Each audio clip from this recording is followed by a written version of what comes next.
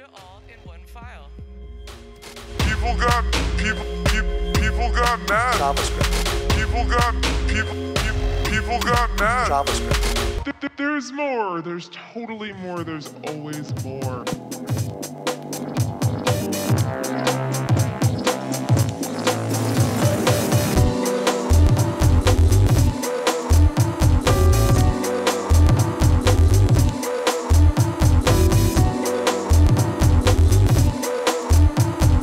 Sam and I'm from London.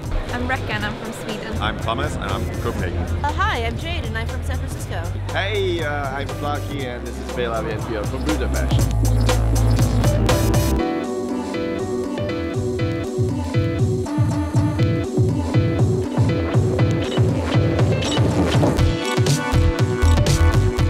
Uh, my name's Ruth, I'm from the UK. Uh, I'm also here with my little collective, which is over in the corner there, which is Live.js. I think the web platform is a really, really interesting platform for making art. It's because of its openness, its ease of use, its consumability by everybody, its connectivity. Like, the web is everywhere and for everybody, which I think is exactly what art is.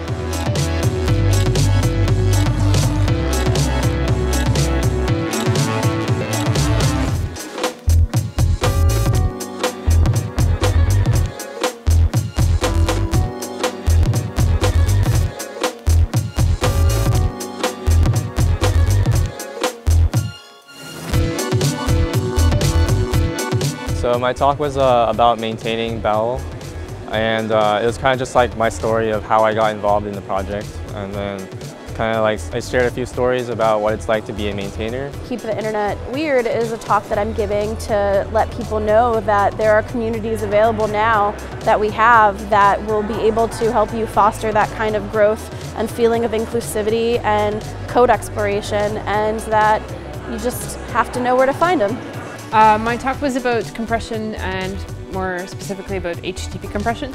So I was talking about being able to um, kind of compress out your bundles before you serve them up.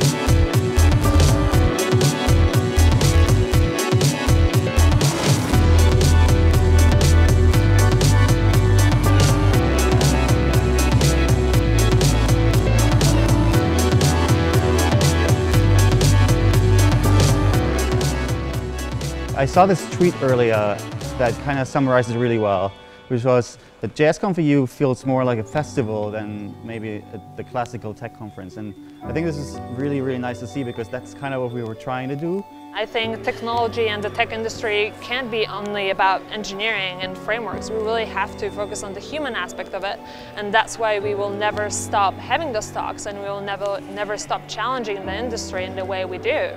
And that upsets some people, but I, I think that's good because that creates a certain discomfort and that drives change.